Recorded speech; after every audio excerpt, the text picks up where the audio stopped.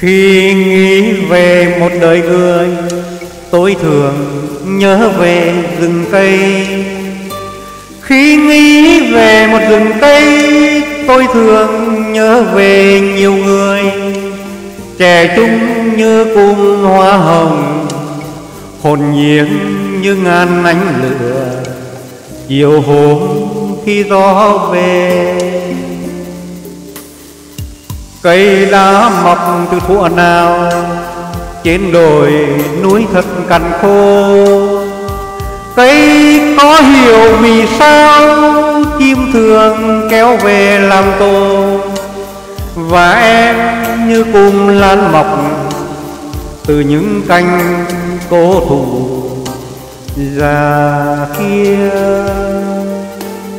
Và tôi vẫn nhớ hoài một loài cây sống gần nhau thân mới thằng có một cây là có rừng, và rừng sẽ lên xanh. Rừng giữ đất quê hương. Ai cũng chọn việc nhẹ nhàng, gian khổ sẽ dành phần ai. Ai cũng một thời trẻ trai cũng từng nghĩ về đời mình. Phải đấu may nhờ dối chịu phải đấu trong đục cũng đành. Phải không em, phải không anh? Chân lý thuộc về mọi người, không chịu sống đời nhỏ nhoi. Xin hát về bạn bè tôi, những người sống vì mọi người. Ngày đêm canh giữ đất trời, rạng rỡ như rừng mái nở. Chiều xuân.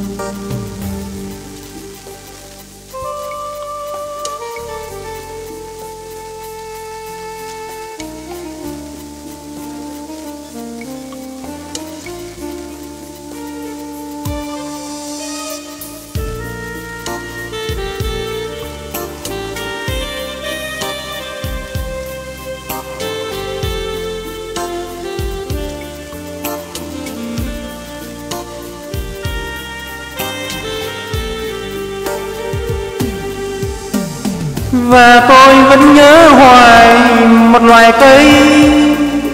Sống gần nhau thân mới thằng.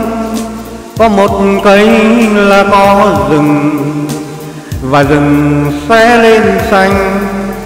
Rừng giữ đất quê hương.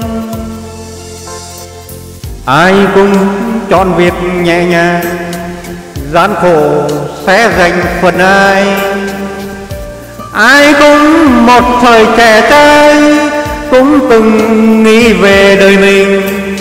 Phải đấu may nhờ duy chiều, phải đấu trong đục cũng đành. Phải không em, phải không anh? Chân lý thuộc về mọi người, không chịu sống đời nhỏ nhoi. Xin hát về bạn bè tôi người sống vì mọi người. Ngày đêm canh giữ đất trời, rạng rỡ như rừng mái nở. Chiều xuân, xin hát về bạn bè tôi, những người sống vì mọi người.